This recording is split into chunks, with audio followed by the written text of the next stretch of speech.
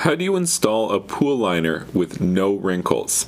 Well, let's start with an, ab- an above ground pool. That's a little bit more straightforward. It's um, basically the process is is you prep the, the the floor of the pool. Usually in an above ground pool, that might be a sand bottom. So you would trowel the bottom exactly how you want it, and trowel backwards. Do the whole thing, kind of like when you're painting. You, you don't paint yourself into a corner. You want to be able to jump out such that the whole floor is troweled and when you put the liner in an above ground pool, if you could get a couple of people to give you a hand, it's it's optimal because what you want to do is you want to be able to have at least four people such that you could stretch the liner out over the pool without dragging it along the floor. If you drag it along the floor, then it's going to mess up all the nice uh, troweling work that you did on the sand.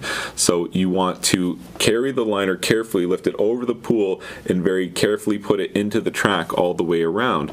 Now the idea here is the liner is is really kind of hanging off the bottom at this point. It's not even sitting on the bottom.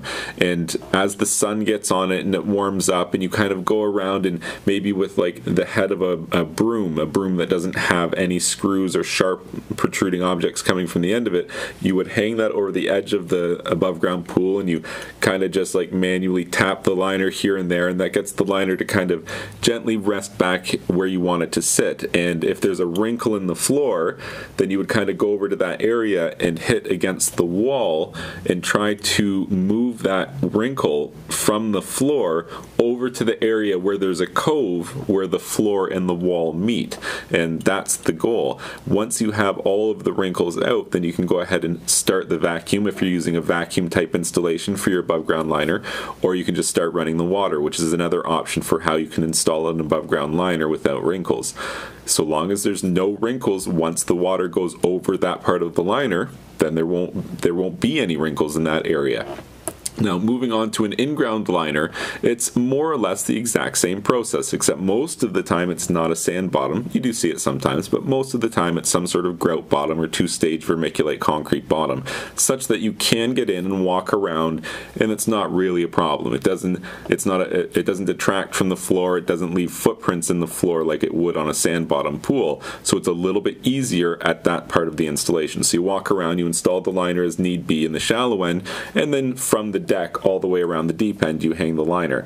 Once the liner's in the pool, and before the vacuum gets turned on, you kind of manually just walk around, kicking, gently kicking the liner into, into position where you want it to be. Then you turn the vacuum on. As the air is with or sucked out from behind the liner, the liner will start to stick to the walls and the floor. And it's the job of the installation technician to walk around at that stage and kick the liner gently into place where you want it. So if there's a wrinkle in the floor, again, I'll go to that area and I will kick where the cove of the liner meets the floor of the floor meets the wall and I will, try to manually manipulate that that wrinkle in the liner over to the cove area.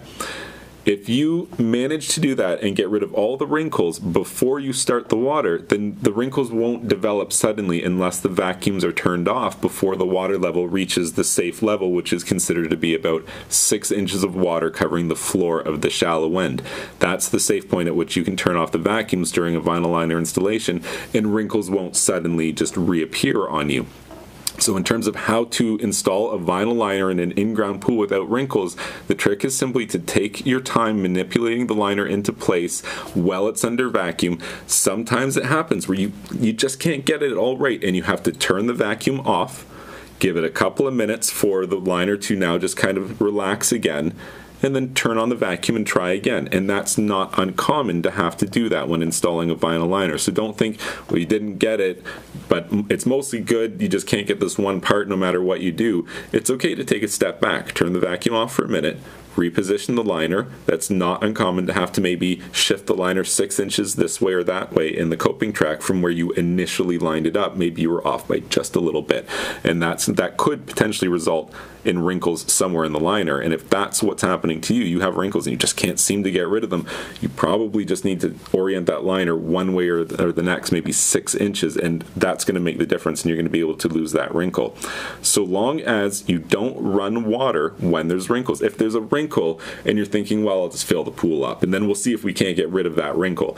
That is the wrong way to go about doing this because once the weight of the water is on top of that wrinkle, you're not going to get rid of that wrinkle. Even the most skilled technician is going to struggle to remove wrinkles once the weight of the water is on it. It's like there's a truck parked directly on top of the wrinkle and you can't move it no matter what you do. And even if you do use a plunger, which is an industry technique to be able to grab the liner and try to manipulate the wrinkle one way or the other, what you'll find is that more times than not, even if you manage to move it, as soon as you let go with the plunger, the wrinkle just reappears in the original location. It's kind of got a memory like that. Once it's cold and the cold water is now covering it and it has the weight of that cold water on it, it's very hard to get rid of wrinkles. So the trick to installing a liner with no wrinkles is to get rid of every last one of them before you cover it with water.